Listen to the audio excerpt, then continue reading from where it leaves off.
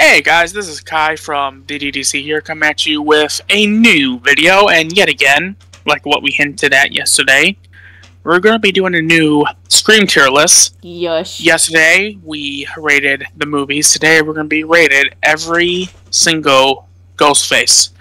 Minus, of course, the Ghostface that appear in the show.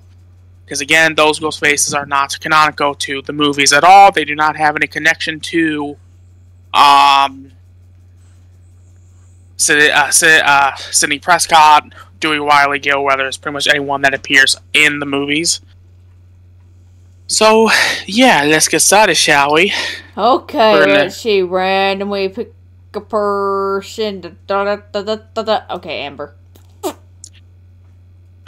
The thing about the Ghostfaces from Scream 5, they were pretty decent, but they were pretty freaking sloppy. Yeah. No. So. They made it painfully obvious that they were the Ghostfaces with how they were, so, See? uh, yeah. okay. Actually, uh, no, uh, no, no, no, no, no, no, no, no, no, but B. B. I'm just gonna put both her and Richie in B. Yeah. okay. Roman from three. A. I can agree with that. I mean, he was quite literally, like I said, he was literally the, The- Palpatine Ting- to Billy's Anakin. yeah, yeah, he was. And not to mention, he had a super unique voice changer that he could, like, uh, like one that- moment, that voice if he wanted- was crazy. yeah, if he wanted to trick Dewey, well, he could just imitate Gale's voice. yeah.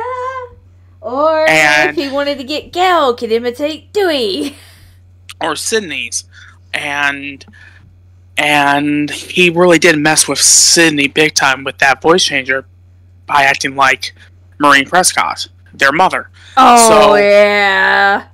and he and he was very smart. He had a bulletproof vest, and overall, I feel like he was a pretty good Ghostface. He really was. I mean, dare I say, he was basically the OG Ghostface in terms of the story. In terms of the story, yes. But technically, he wasn't at the same time. He was more of the But, mentor. yeah. It's really it's a bit confusing, but not too confusing. Yeah. So next, Uh, Charlie and Jill. I would have to put them up in. You know what? I'm gonna put them up in A. I mean, all things considering, considering Jill is Sidney's cousin. Their plan almost went off a, went off the With that- hitch. yeah, their plan almost went off without a hitch. It almost was as successful as um.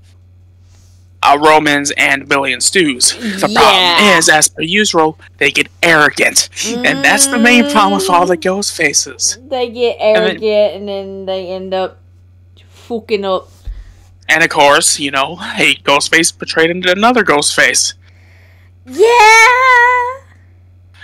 And basically, you know, obviously this was over the fact that Jill was sick and tired of hearing about Sidney Prescott. So she wanted that fame. And ironically, she did get that fame. She she was called a hero. Yep. But she wasn't alive to celebrate. Nope. Because she started freaking out in the hospital. Yeah, because she realized, crap, I didn't actually take Sidney out. Yep. So yeah. Next. The three from six, Ethan Quinn and the C. police. I, C. I kind of figured they was gonna go and see. I can't blame you on that one. their plan was was good. I like the idea that they were each using different ghost face from the year's kills, and I understand that they were doing this because of Richie. But to me, it felt no different than Miss Loomis. True. Very true. And now again, some people may say, "Well, here's the thing: why are you guys going to be? Why do you guys put Amber and Richie in B, when probably to some people those three could be a lot better. Here's the thing: they were great, but there was one stinking problem. It's just one teeny tiny detail. They only killed not a lot of people in their movie, guys. Scream yeah. Six did not have a lot of body counts. No. yes. They were able to wound people, but they never took anyone out. From a movie that says that anyone is basically disposable, well, no one didn't. The movie was pretty safe. At least Scream 5 had the balls to kill off Dewey. And and and Judy Hicks. They could have killed off Gail in this movie. and they. Oh, they could have. So, with that said, I think they're even more sloppy than Amber and Richie. Yeah. So, let's move on to the next. Uh, Mickey and Miss Loomis. Put them up in B. You know Actually, what? you know what? You know what? Move Mrs. Loomis to A. Okay, and put Mickey in B. Got you. Yeah, I I can understand that since they both had different motives for what they were doing. they both had different motives. Um, Mrs. Loomis was targeting people that uh, was a part of what happened to her son, while Mickey was going after randoms.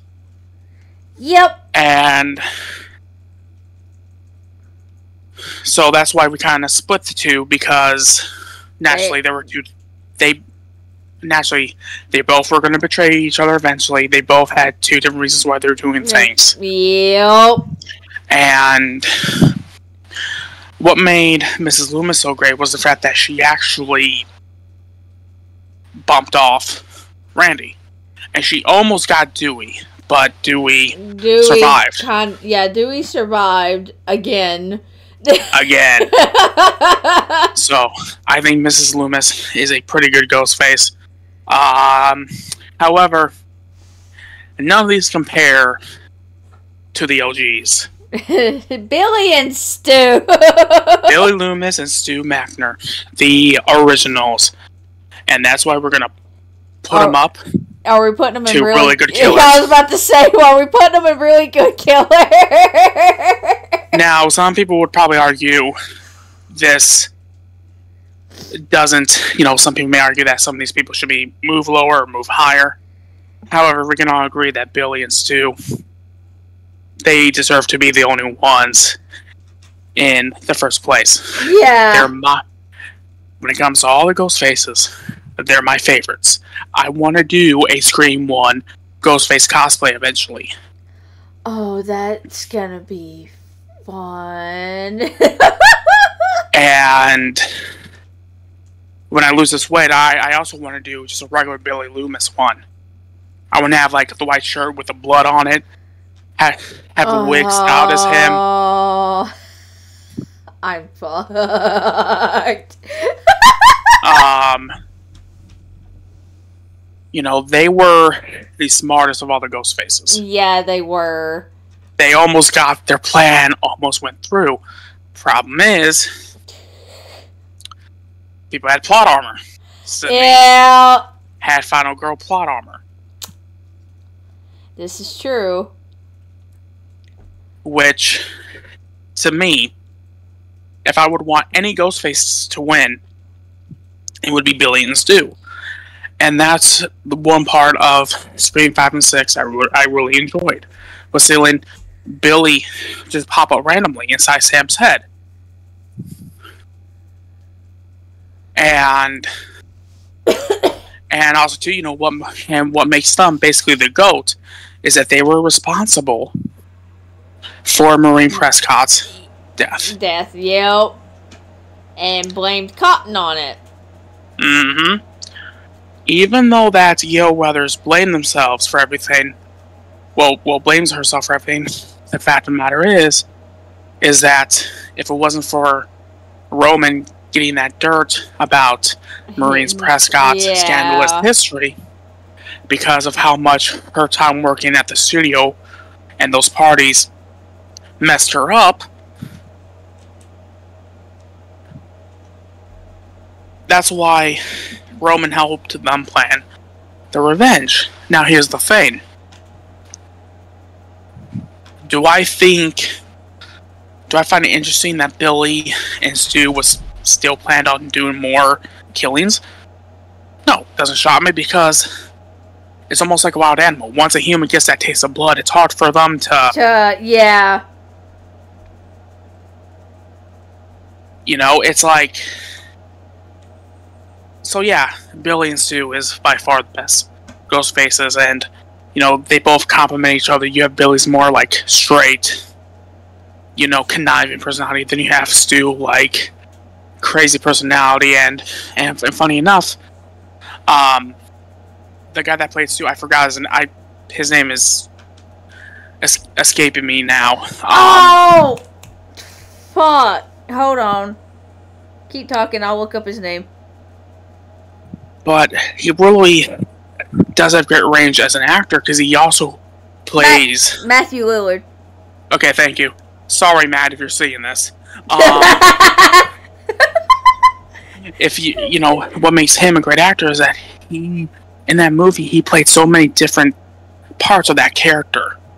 He could play him serious. He could play him angry. He could play him upset. He could play him crazy and and you know this is the guy that was um who played um Shaggy, and he also went on to play William Afton, slash Springtrap in the Which- FNAF movies. That made me so happy when he got casted as Afton because I'm sitting here going, "Oh, he gets to be a killer again." And so, like, I, yeah, I mean, if I'm not mistaken, I believe I said straight out that they picked the perfect person because he knows Knows what they need to that do you're- about slashing. yeah, I mean, And he really does. and that was another thing I enjoyed about that I enjoyed about the FNAF movie. There's a moment to where Springtrap wipes the knife off, like Ghostface style. Yeah, I know, and I love that. I'm sitting here going, they knew. They had to have known when casting him. And yeah, like you know, I'm just so looking forward to seeing him become all like you know, like becoming how a purple guy looks now, looking like a freaking mangled mess. Yeah. But you know, part of me hopes that to actually survive because I would love to see him pop up in a future movie. But unfortunately, I think he's done because you can't you you can't come back from having a TV set, especially one that big. During Right. let me tell you those those old '90s TVs. Yeah, and especially with how we saw how bad it was broken. Yeah. Six. Yeah, there's, tell you that- there's no coming back from that. Those old '90s TVs they were heavy. Oh, yeah. And don't get me started on the built-in ones from the '80s. I never was around for those, but I'm so glad I never had to deal with them.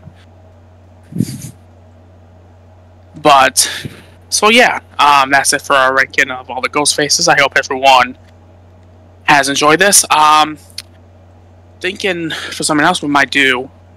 Um, I think.